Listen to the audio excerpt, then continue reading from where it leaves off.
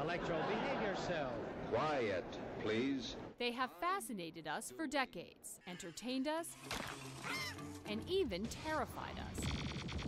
Today, robots are increasingly stepping out of the realm of fiction and making new inroads in the workplace, driven by faster, cheaper, and more sophisticated computing.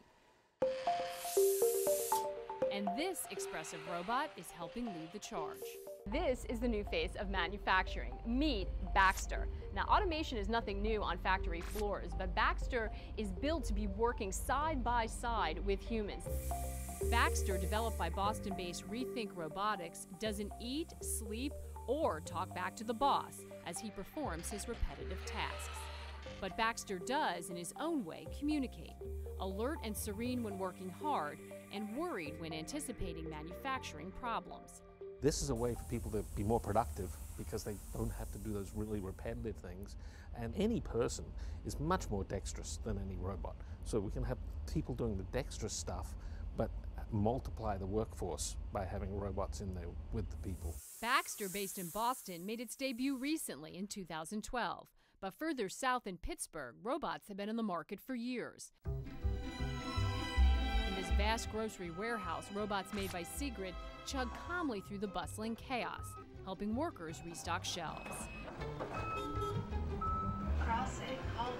And tug robots are used to transport food, medications, and linen through hospitals like the University of Pittsburgh Medical Center.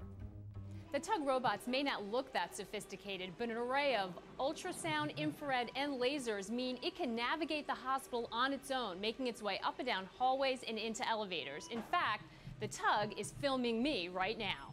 The goal is to complement workers, not replace them. They can't touch a patient. They can't help a patient. They have no human touch.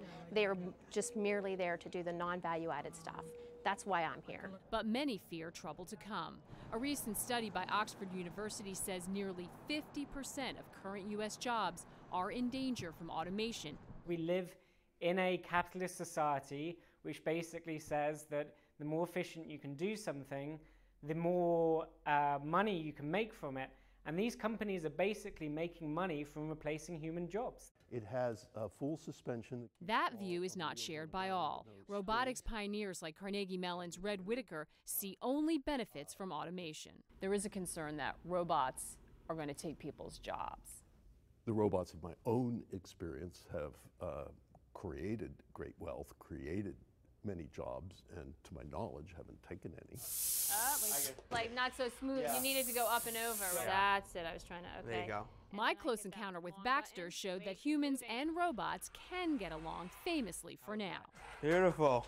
But for some, the rise of the robots could lead to a sea change in society that we haven't even begun to anticipate. Maggie Lake, CNN, Boston.